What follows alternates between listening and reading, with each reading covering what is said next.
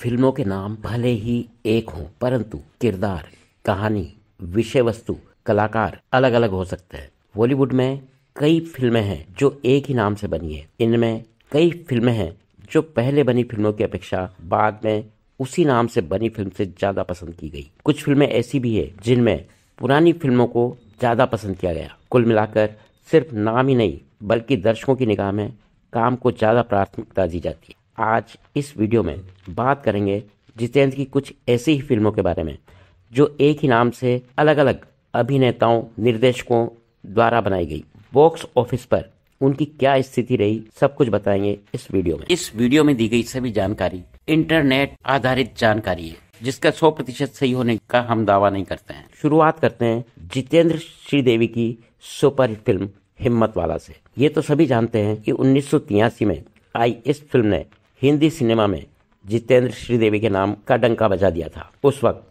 दर्शकों ने जितेंद्र श्रीदेवी की फ़िल्म को इतना पसंद किया कि हर निर्माता निर्देशक इस जोड़ी को लेकर फ़िल्म बनाना चाहता था।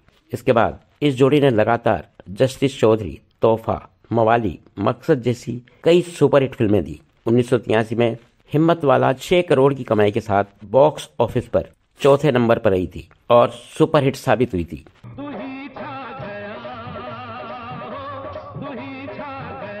उन्नीस सौ अट्ठानवे में मिथुन चक्रवर्ती और आयशा जुल्का की इसी नाम से फ़िल्म आई। इस फ़िल्म के बारे में बहुत कम लोग जानते हैं, क्योंकि इस फ़िल्म ने बॉक्स ऑफ़िस पर लगभग एक करोड़ पचास लाख की कमाई की, जबकि इसका कुल बजट एक करोड़ पिचहत्तर लाख रुपए था। ये फ़िल्म फ्लॉप रही थी। 2013 में हिम्मत वाला नाम से एक और फ़िल्म बनी, जिसमें नज़र आए अजय देवगन। और तमन्ना भाटिया। इस फ़िल्म को प्रसिद्ध निर्माता निर्देशक साजिद खान ने डायरेक्ट किया था। इस फ़िल्म के लिए उन्हें तीखी आलोचना का शिकार होना पड़ा था, क्योंकि उन्होंने फ़िल्म की रिलीज़ से पहले कह दिया था कि ये फ़िल्म ब्लॉकबस्टर रहेगी, जबकि फ़िल्म फ्लॉप रही। इस फ़िल्म की कहानी भी उन्नीस में आई, जितेंद्र श्रीदेवी की फ़िल्म से मिलती जुलती थी। फ़िल्म के गाने नैनो में सपना और ताकी और ताकी को भी इस फ़िल्म में लिया गया था। लेकिन अजय देवगन को भी समीक्षकों और दर्शकों की आलोचना मिली।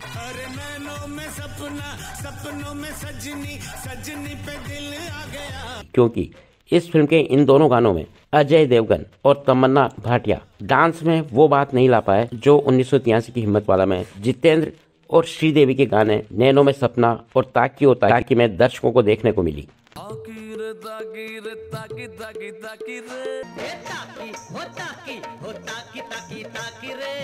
दो हज़ार तेरह में आई फ़िल्म हिम्मत वाला बुरी तरह फ्लॉप रही थी। बनकर हिफाजत जिसकी हवा करे वो शम्मा क्या बुझे जिसे रोशन खुदा करे।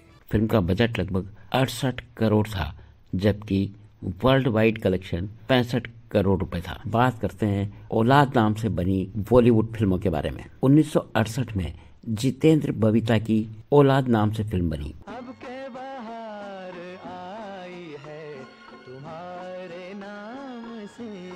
उन्नीस सौ सड़सठ में इस जोड़ी की फ़िल्म आई थी फ़र्ज़ जिसने जितेंद्र को रातों रात सफलता दिलाई थी।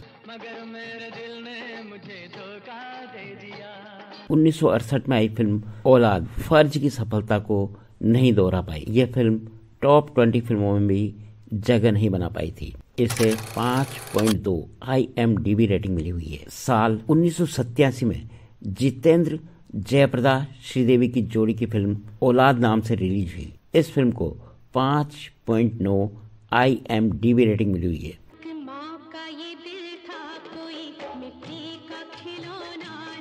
कमाई के मामले में फ़िल्म उन्नीस सौ सतासी की टॉप टेन फ़िल्मों में नंबर सात पर रही थी। औलाद नाम से सिर्फ़ बॉलीवुड में ही फ़िल्में नहीं बनी बल्कि उर्दू भाषा में भी पाकिस्तानी फ़िल्म बनी, जिसे रिलीज़ किया गया था तीन अगस्त उन्नीस सौ बासठ को। बात करते हैं संजोग नाम से बनी हुई बॉलीवुड फ़िल्मों के बारे में।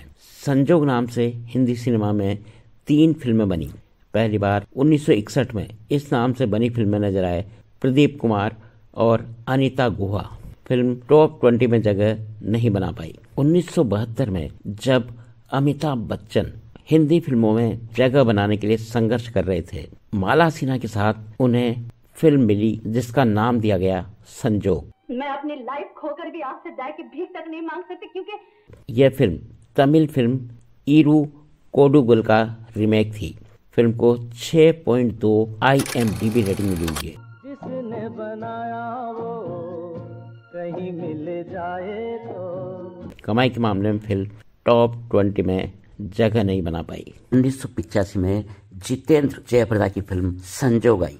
इस फ़िल्म में जयप्रदा ने डबल रोल किया था। भारत में इस फ़िल्म ने तीन करोड़ चौबीस लाख का कलेक्शन किया था, जबकि इस फ़िल्म का बजट था एक करोड़ साठ लाख रुपए। फ़िल्म हिट रही थी। आई पर ten out of seven rating दी गई है। इस फ़िल्म में जयप्रदा को बेस्ट एक्ट्रेस के फ़िल्म फेयर अवार्ड के लिए नॉमिनेट किया गया था। इस लिहाज से यदि देखा जाए तो जितेंद्र जयप्रदा की फ़िल्म संजोग तीनों फ़िल्मों में सबसे ज़्यादा सफल फ़िल्म रही थी। उन्नीस में आई अनिल कपूर की फ़िल्म वो सात दिन का नाम भी पहले संजोग रखा गया था। बाद में इसे बदलकर वो सात दिन कर दिया गया। फ़िल्म में अनिल कपूर पहली बार लीड रोल में नज़र आए थे। इस फ़िल्म को भी बहुत पसंद किया गया था। बात की जाए यदि अनिल कपूर की तो अनिल कपूर की साल उन्नीस सौ सत्तानवे में जुदाई नाम से फ़िल्म बनी थी। फ़िल्म बॉक्स ऑफ़िस पर हिट रही थी। इसी नाम से जितेंद्र रेखा की साल 1980 में फ़िल्म आई थी, जो हिट रही थी। इस फ़िल्म को 5.8 आईएमडीबी रेटिंग मिली थी। अनिल कपूर की जुदाई की कहानी उन्नीस सौ चौरासी में आई। जितेंद्र की फ़िल्म तोहफा से कुछ कुछ मिलती जुलती है। उन्नीस में आई जुदाई में अनिल कपूर के साथ श्रीदेवी और उर्मिला मारतोड़कर नज़र आई थी, जबकि उन्नीस सौ चौरासी में आई तोहफा में। जितेंद्र के साथ श्रीदेवी और जयप्रदा नज़र आई थी। साल उन्नीस में जितेंद्र जयप्रदा सनी देओल की फ़िल्म मजबूर आई जिसे 5.3 आईएमडीबी रेटिंग मिली हुई है। फ़िल्म बॉक्स ऑफ़िस पर कोई खास सफलता नहीं दिखा पाई। बात की जाए यदि अमिताभ बच्चन की तो साल 1974 में मजबूर नाम से फ़िल्म बनी थी। इस फ़िल्म में अमिताभ के साथ परवीन पोवी नज़र आई थी। फ़िल्म हिट रही थी।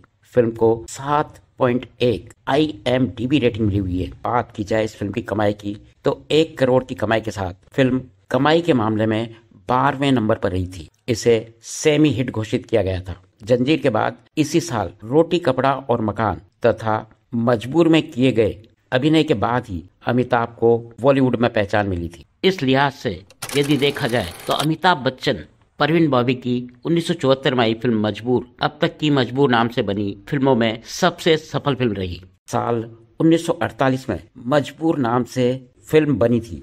लता जी ने पहली बार इस फ़िल्म के गीत से अपनी पहचान बनाई। गीत था, दिल मेरा तोड़ा, मुझे कहीं का ना छोड़ा।